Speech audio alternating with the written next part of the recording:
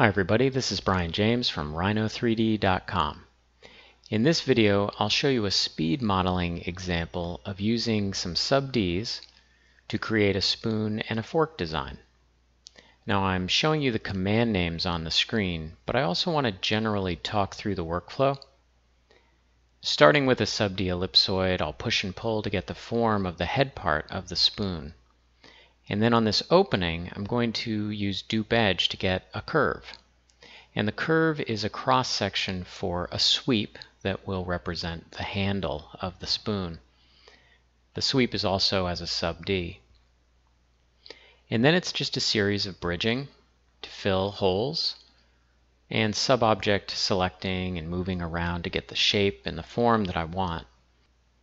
If you're not familiar with sub-object selection or using the gumball, check out some of the other videos I've done such as the Intro to Sub-D Geometry or basic push and pull modeling with sub-Ds.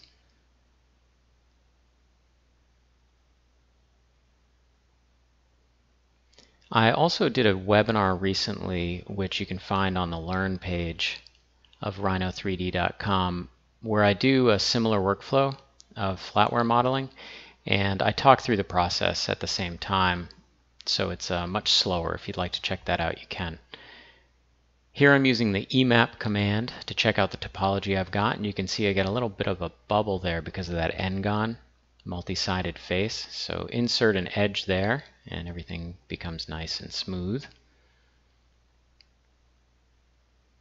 Now my favorite part about this workflow I'm about to show, which is how do you use the same handle for the fork. So you start by making a copy and just delete the head part of the spoon. You could also use extract SRF there, but uh, I just made a whole copy. Now the workflow I'm showing now is very flexible. It's sometimes referred to as the paper doll method. You start with something flat, like a planar surface, and use quad remesh to get your base sub D.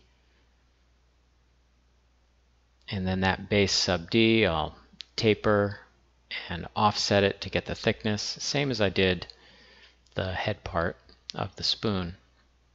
Here I'm using soft transform. This is a really powerful tool. Just remember to turn it off so you don't forget it's on. And now to bridge between these two edge loops, between the head part of the fork and the handle, the problem is they don't have the same edge count. So I do two edges to two edges on the top and bottom, and then one to one on the side.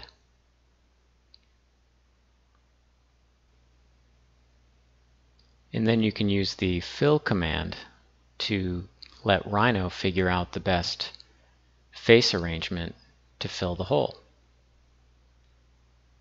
And then I'm deleting some edges here to get the geometry to flow nicer.